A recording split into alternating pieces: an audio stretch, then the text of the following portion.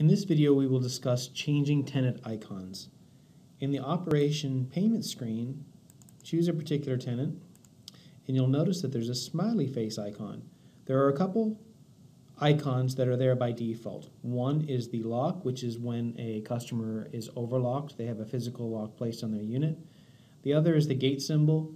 That's when a customer is locked out of the gate. Those are there because of those two particular actions. However, you can click on the smiley face icon and edit any of the other icons that are here and use them. For example, if I wanted the black star to mean that someone has a garbage removal service, I can double click on that particular option and type in garbage removal.